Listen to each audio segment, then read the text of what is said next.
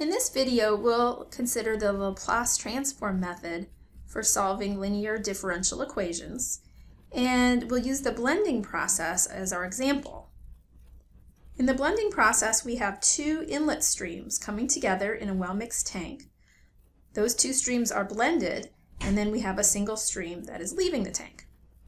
The Laplace transform method applies to linear differential equations, so we will use the linear approximate model for the mass fraction in the tank. So the first thing that we're going to do here is to take the Laplace transform of each term here. The Laplace transform of the time derivative is s, capital X prime of s, minus any initial deviation in mass fraction from the steady state. And here we're going to just assume zero deviation. And then that is equal to minus 4 times 10 to the minus 4 capital X prime of S plus 0 0.075 times 10 to the minus 4 W1 prime of S minus 0 0.025 times 10 to the minus 4 w2 prime of s. And now that we have taken the Laplace transform of each of our terms on the left and right side of the differential equation, we can combine terms for our unknown to algebraically solve for the mass fraction in the tank. So now we have a general expression where we can solve for x prime of s as a function of our two inlet streams. Now we can consider a specific step input to stream 1.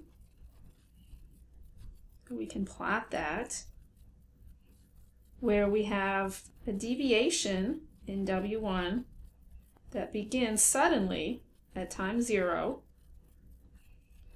and has an amplitude of 0.1.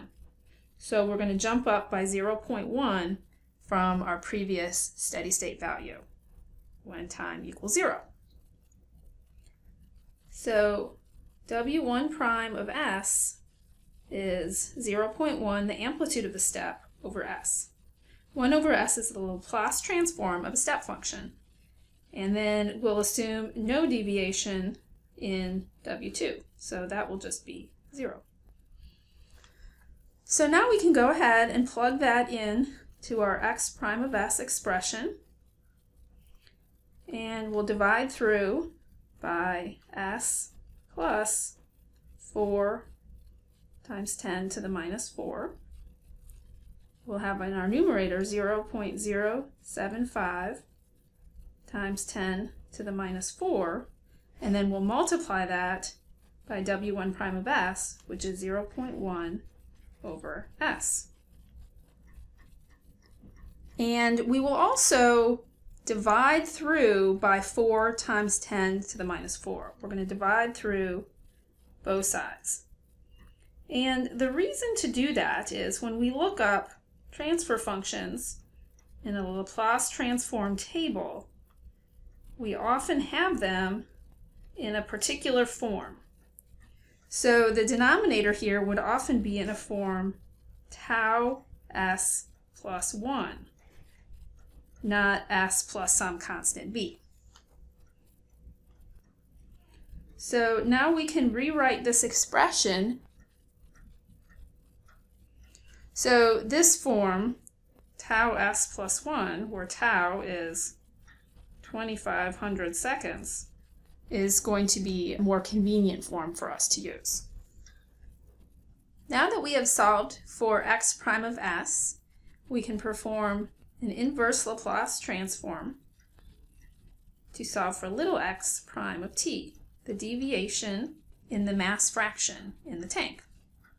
We can pull out this constant term and then look up the remaining term in the Laplace transform table, which would be 1 minus e to the minus t divided by 2500.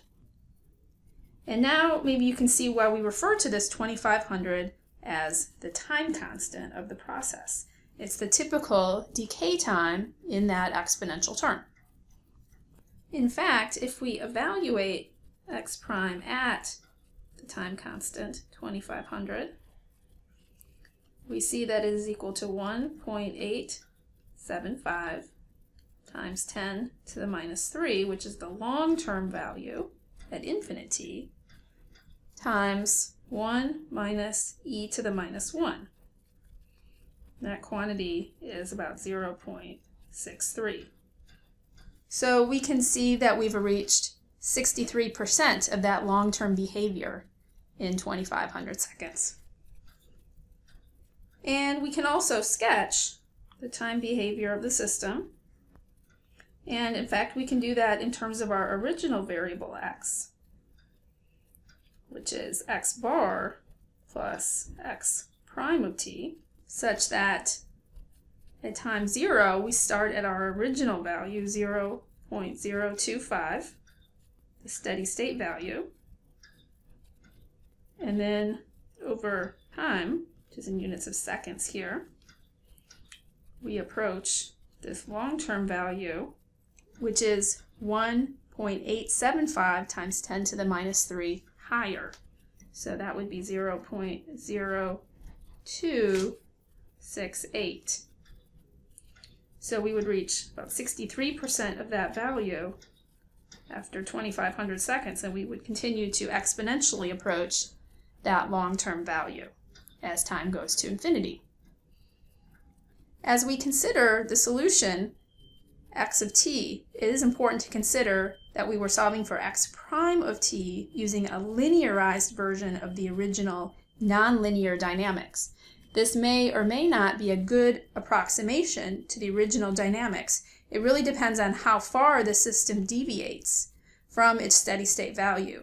Now here we had a step of 0.1, deviation of 0.1 going from 1 to 1.1 in our inlet flow rate W1. So that's a 10% change. And then here we saw similarly a small but non-negligible change in X.